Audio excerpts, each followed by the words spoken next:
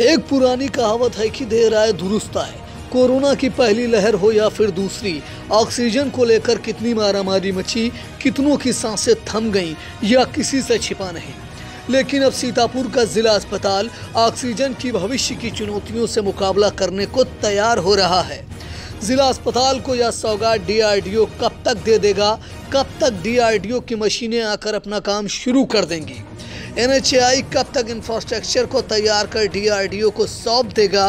Oxygen का नया plant कितने मिनट में कितने लीटर ऑक्सीजन सप्लाई करेगा? इस ऑक्सीजन प्लांट से फ़िलहाल क्या जिला अस्पताल में भी सप्लाई होगी या फिर इससे रिफिलिंग भी की जा सकेगी? क्या जिला अस्पताल में बेडों पर मरीजों के लिए ऑक्सीजन सप्लाई के लिए पाइपलाइन तैयार हो रही है? जिला अस्पताल में प्रतिदिन कोविड और सामान्य मरीजों को कितनी ऑक्सीजन की सप्लाई देगा? इन तमाम सवालों को लेकर आई इंडिया के editor in chief Pankaj Singaur ने सीतापुर जिला अस्पताल के सीएमएस डॉक्टर ए के अग्रवाल और एनएचएआई के अधिशासी अभियंता प्रमोद सिंह से खास बातचीत की। तो आप भी सुनिए उन्होंने क्या कहा। सीतापुर ज़िला अस्पताल में जो ऑक्सीजन की समस्या रहती थी, वो बहुत जल्द अब ख़त्म होने जा रही है।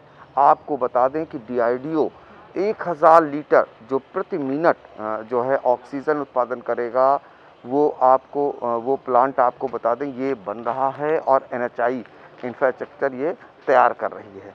और ये बहुत जल्द इसी माह चालू होने की पूरी उम्मीद है। आपको बता दें, ये बड़ा काम होने जा रहा है और ये सौ बेड ऐसे होंगे जो जिला अस्पताल के पाइपलाइन बिछ चुकी है और वहाँ पर ऑक्सीजन की सप्लाई की जाएगी। जो कोविड काल में जो ऑक्सीजन को लेकर हाई तोबा मस्ती थी, वो अब बहुत जल्द दूर होने जा रही है। और हम आपको बता दें, ये इंफ्रास्ट्रक्चर आप देख सकते हैं, नचाई ये तैयार कर रहा है और काफ़ी कुछ तैयार कर चुका है। ये फाउंडेशन है जो बन चुका है। इसके अलावा ये सब पोल वगैरह खड़े हो चुके हैं और ये उम्मीद जताई जा रही है, इसी माह तक जो है डीआरडीओ इसको चालू कर देगा। इस समय हमारे साथ मौजूद हैं जिला अस्पताल के सीएमएस डॉक्टर ए के अग्रवाल। इन्हीं से जानते हैं कि जो ये बनने जा रहा है, जो बनकर तैयार होगा, इससे कितना लाभ मिलेगा और कब तक बनकर तैयार होगा। ये सर बताइए कि ये जो ऑक्सीजन प्लांट लग रहा है, कितने लीटर का है और कितने बेड तक इसकी सप्लाई होगी, कब तक बनकर तैयार होगा? ये एक हज़ार लीटर प्रति मिनट इसकी सप्लाई होती है, ऑक्सीजन मिलेगी हमको और हमारे सौ बेड के लिए पर्याप्त होगी ये। और इसको 30 मई तक ये बन जाना चाहिए। तो क्या माना जाए जो ऑक्सीजन को लेकर के अब जो संकट है आने वाले समय में वो पूरी तरह से दूर हो। जाएगा? ये अभी आ, का संकट तो ख़त्म हो ही जाएगा। अब भविष्य के लिए अगर कोई दोबारा ज़रूरत पड़ती है या कोविड नहीं भी होता है तो हमारे अस्पताल की ऑक्सीजन की जितनी भी प्रतिपूर्ति होगी इससे होती रहेगी। तो सर ये जो डीआरडीओ लगा रहा है जो संचालित करेगा ये सिर्फ़ जिला अस्पताल के लिए या रिफिलिंग भी होगी? नहीं इसमें रिफिलिंग नहीं है। इसको बाद में रिफिलिंग प्लांट अलग से लगाना पड़ेगा अगर चाहिए होगी तो लेकिन ये डायरेक्ट सप्लाई करेगी इसमें रिफिलिंग नहीं है। ये उम्मीद करें कि अब इसके बाद जो वेंटिलेटर है जो उसकी सुविधाएँ भी सुचारू रूप से यहाँ संचालित हो सकेंगी।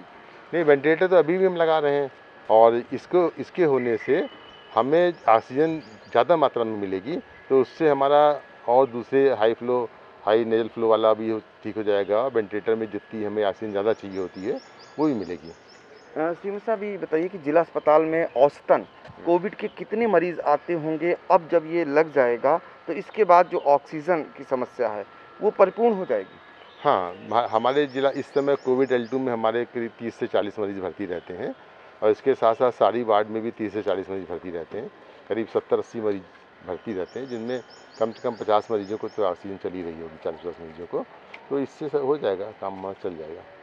तो पूरी तरीके से उम्मीद करें कि इसी माह ये सौगात जनपद को मिल जाएगी। ये हमारे इनके प्लान आज ये आप भी आ जाइए इधर। ये हमारे एन के हैं अधिकारी हैं। आप बताइए इस मामले में।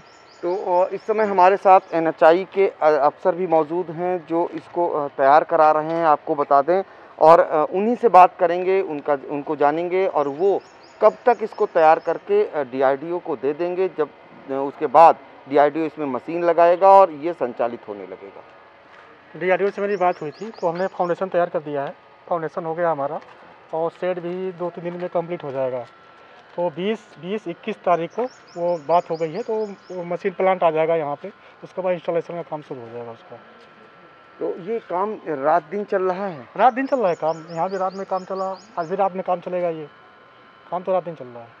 तो ये बताइए कि सर जो है एन इसको तैयार करा रही है हाँ। फाउंडेशन। हाँ। तो अब आपसे बात भी हुई आप जैसा कह रहे हैं डीआरडीओ से। लगभग उम्मीद करें हम मशीन कब तक ये संचालित करने की उनकी प्लानिंग है? मशीन तो विद इन वीक हो जाएगा मतलब 20 तारीख को 20 से 21 तारीख को आ जाएगा मशीन। उसके बाद एक हफ़्ते लगेंगे इंस्टॉलेशन में उसको। और डक्ट में जितना टाइम डक्ट है तो सब डक्ट है यहाँ पे। डक्ट आपका सप्लाई डक्ट सप्लाई है सप्लाई है। फिर एक हफ़्ते में एक हफ़्ते में उम्मीद करते हैं कि हो जाएगा।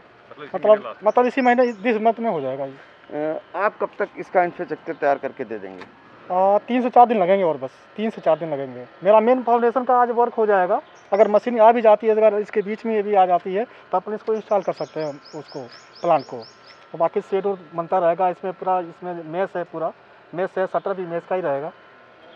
तो तीन से चार दिन लगेंगे, ये खुशखबरी है, एनएचआई रात दिन लगी हुई है इसको बनाने में। सीएमएस ने जानकारी दी कि बहुत जल्द इसी माह तक हम जो ऑक्सीजन की समस्या है, वो दूर कर लेंगे। खास बात ये है कि सीएमएस ने पहले से ही जो कोविड काल है पिछले साल भी यहाँ मरीज़ भर्ती हुए थे एल की सुविधा दी थी। इस बार इन्होंने पूरी पाइपलाइन की जो सप्लाई है, ऑक्सीजन की, उसको सुचारू रूप से बना लिया है और जैसे ही प्लांट चालू होगा, ऑक्सीजन की सप्लाई पाइपलाइन से शुरू कर दी जाएगी। सीतापुर से आई इंडिया के लिए बिपिन राजवंशी के साथ पंकज सिंह गौर।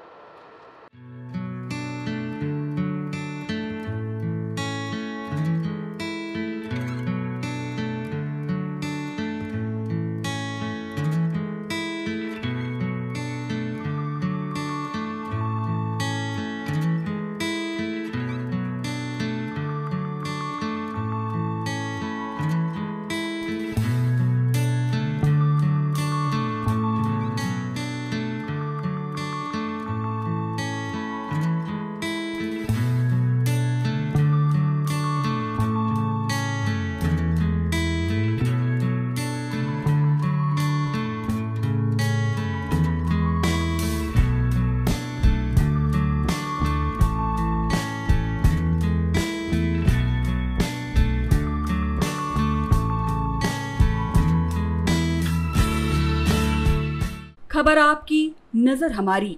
देखते रहिए आई इंडिया।